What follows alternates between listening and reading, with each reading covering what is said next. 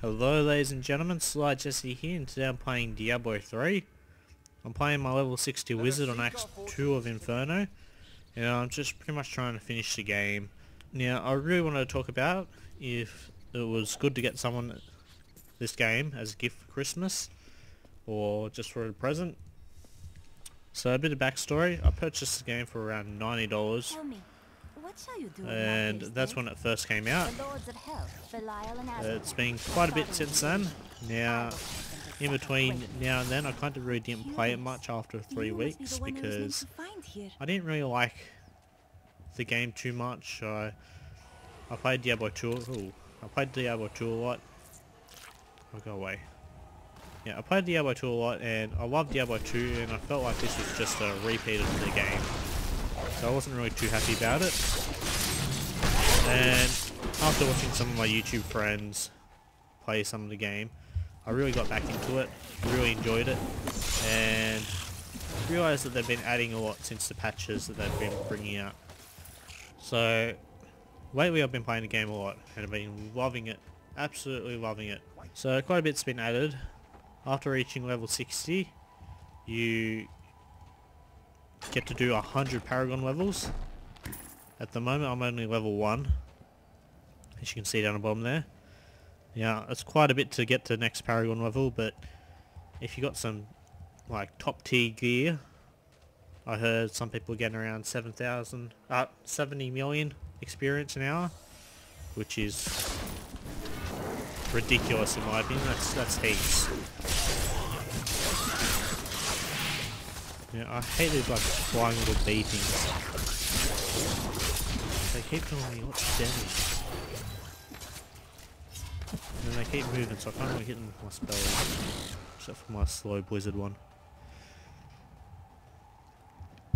Yeah, so each Paragon level you get bonus magic and gold finds, so at level 1 I've got plus 3% on both. And I'm finding lots of decent loot just with that. So it's pretty good, I'm happy about it. Player vs player will probably be added to the game this month, that's what I'm guessing at the moment anyway, because they might want some extra sales for Christmas, since Christmas is actually less than three weeks away. I was shocked about that. Uh, it doesn't feel like it's just like three weeks away, but... Ooh, there's a big monster. I just got up my Christmas tree. Oh, they can kill me. Oh no, this. Ah, that sucks. But whatever's, we'll go kill them, I suppose. Uh, which way did we go? We went this way. Need more time. Yeah, only three weeks away to Christmas. That's really close. I don't think it's gonna be that Need more close, but arcane power. oh wait, there's another elite here. Way. I didn't even notice. I saw their sparks come down, thinking, what are they? I just killed the last things. Oh, so died twice so far. This is a great game gameplay. Playing Inferno and dying twice. Uh, there's a total of five different characters you can play, so you got lots of different play styles that you can play. So if you like playing one way, you should be able to play that way fine. See, these are the things I don't like, the bees.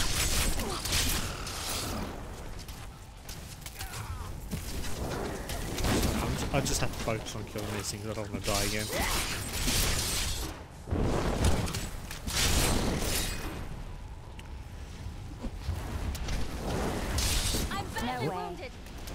No Uh, I just didn't get my shield off in time.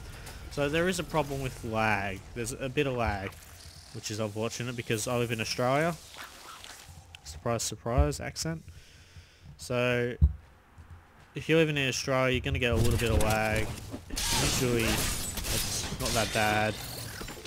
Um, I do have a problem. I'm not sure if everyone here gets it, which they probably don't, but usually when I'm fighting bosses, it's like my internet disconnects, but it hasn't. I know it hasn't because I've got my TeamSpeak and YouTube and everything up.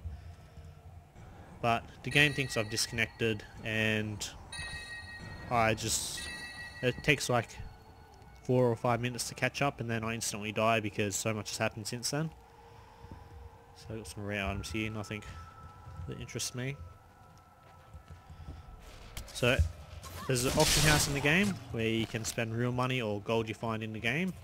Now everything in there is relatively cheap now, which is really good. Most of my gear I just bought from the gold auction house, which is really decent because it made me fly through hell. I went through hell so fast with some uh, good axe I picked up. Now um, I've changed it since then. So can't really show you it, but it was really good. Well, I believe you can have up to four friends in your game at a time. I don't really have any friends, so in saying that, I don't really have anyone to play with. I've only played with one other, one other person. Or I've actually played with two other people at one stage, but that was really early on. Ah, put some more of these body things.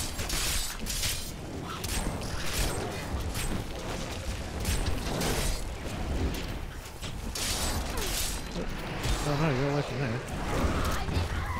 Yep, there I am, dead again. This is turning out fantastic. I am not even getting my points across because I'm too focused on dying. So if you are playing with friends, it's good. You can have up to four. And you also get a companion to help you. Which is good. You get it like after a few missions. It's great because uh, it's just like Diablo 2. I've love Diablo 2. I've played that so much. Now we've still got the waypoints. You can identify items still like in Diablo 2, but you don't need an identification scroll, which has made the game more basic, I guess. It's not something I really liked about the game, but, you know, oh well, it's not like that. Oh, look, we got some more elites. Yeah, we killed them. Didn't even die this time have a quest you want to keep doing, you can actually keep doing it over and over again. Though you won't get the same amount of experience and gold that you did the first time, but you can keep on doing it. Um, you can choose how strong you want the monsters. You can have them from level 0 to 10. At the moment I've got them on 0 because I'm dying enough as it is. I just want to get through the game. Um, if you have them higher, someone told me you get more items, but I'm not too sure about that. I haven't actually looked that up. So I really love this game at the moment. And it seems like with every patch, they're just making the game better and better. Uh, I'm really looking forward to the expansion if they bring one out, like Diablo 2. I love the Diablo 2 expansion. So overall, I say if you think whoever you're going to buy it for is going to enjoy it, then you should buy it for them. I think they'll really like it. Um, it's great. That's all for today. If you like this video, even though I died a lot, give it a thumbs up. Leave me a comment, and I'll see you next time. Looking for an action-packed, fully open world role-playing first-person shooter with pirates? Look no further. You boys think you're crazy, huh? Hmm? Jumping out of airplanes, flying like birds. Sly Jesse here with SpawnNews.com and today we're looking at Far Cry 3.